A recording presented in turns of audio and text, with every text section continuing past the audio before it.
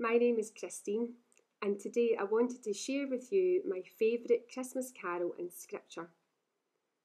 There are so many carols that I love, but the one that I could listen to over and over again has to be O Holy Night. I just think the words and the music are beautiful. The carol is in one of my favourite Christmas films called Home Alone, and I love the part where Kevin goes into the church and the choir are singing that carol. I love the whole film, but the choir singing that carol is the part that I look forward to the most. The words in the carol are all about the night that Jesus was born, that the angels were rejoicing as the King came into our world. One of the lines that just moves me when I hear it is the start of the chorus Fall on your knees and hear the angels' voices, O night divine, O night divine when Christ was born. Why does that line stand out to me? Well, the only response I can have when I think of Jesus is one of worship, where I bow the knee, choosing a posture of humility, bowing low, and whether I'm physically on my knees or surrendering in my heart, that line always makes me choose to surrender and bow low. God went from being the all powerful God to an all dependent little baby born in a manger with straw.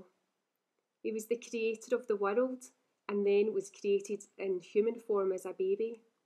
He created language so that we could speak, and then he became a baby where he had to learn to speak the language that he had created. That is what God did when he sent Jesus into the world to die for our sins. And when I think of all these things that he has done, I am filled with awe and wonder and love for him that I must yield and bow the knee to worship the King because Jesus is Lord. One of the scriptures that I love is from John chapter 8, verse 12. Jesus says, I am the light of the world. Whoever follows me will not walk in darkness, but will have the light of life. At Christmas time, when I do reflect on Jesus coming to the world, this is always the scripture that comes to mind. Jesus brings God's presence, He brings hope, He brings protection and guidance, especially during this time when people are under great pressures and challenges, whether it's their health or their finances or their future. There is hope for you today for whatever challenge you may face because of Jesus.